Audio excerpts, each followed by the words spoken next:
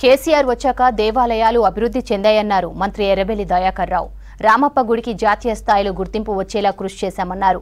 వరంగల్లో దేవాదాయ శాఖ సమీకృత భవన సముదాయాన్ని ప్రారంభించారు మంత్రులు ఎర్రబెల్లి ఇంద్రకరణ్ రెడ్డి సత్యవతి.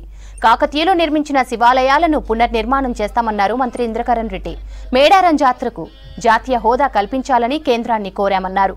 పన్నెండు కోట్ల నిధులతో జాతర పనులను ప్రారంభించి ఫిబ్రవరి నాటికి పనులను పూర్తి చేస్తామన్నారు మంత్రులు.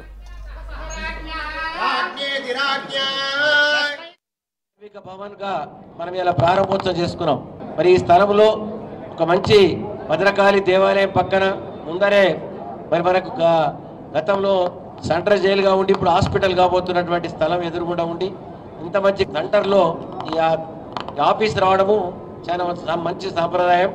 అదేవిధంగా వరంగల్లో ఎన్నో దేవాలయాలు మనకి వాళ్ళ బ్రహ్మాండంగా మరి ఇటు సమ్మక్క సారలమ్మ కానీ వెయ్యి స్తంభాల మరి శివాలయం కానీ మరి అదేవిధంగా భద్రకాళి అమ్మవారు కానీ అల్లూరు నరసింహస్వామి దేవాలయం కానీ ఈ విధంగా ఎన్నో దేవాలయాలు ప్రసిద్ధి చెందినటువంటి కాకతీయ రాజుల సమయంలో ఇక్కడ శివాలయాలు బ్రహ్మాండంగా నెలకొల్పబడి ఉన్నాయి జీర్ణ దశలో ఉన్నటువంటి దేవాలయాలు. కూడా పునర్జీవన కార్యక్రమంలో పెద్ద ఎత్తున సీజీఎఫ్ ద్వారా నిధులు ఇచ్చి అవన్నీ కూడా మనం బాగేసుకుంటున్నాం. దీని తర్వాత మనకు సమ్మక్క సారలమ్మ ప్రతి రెండు సంవత్సరాల కోసం జరిగే గిరిజన జాతర చాలా పెద్ద జాతర.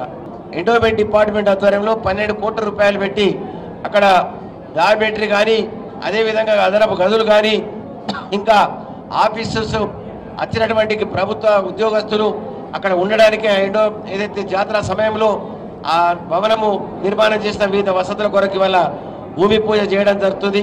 చాలా మంది కవులు గతంలో పురాతనమైన టెంపుల్స్ కూడా చాలా ఉన్నాయి. నేను ఇంద్రకరణ్ రెడ్డి గారికి రిక్వెస్ట్ చేస్తున్నా. కాకతీయ రాజులు కట్టిన శివాలయాలు కూడా చాలా బాగున్నాయి. ఏ ఊరు పోయినా కూడా శివాలయాలు అద్భుతంగా ఉన్నాయి. మీరు బాగానే చేస్తున్నారు.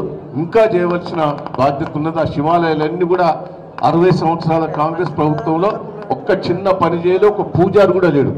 పూజారు లేక అవి అవి పూడిపోయినాయి. ఇప్పుడు ముఖ్యమంత్రి గారి కృషితోటి చాలా బాగా చేస్తున్నాం.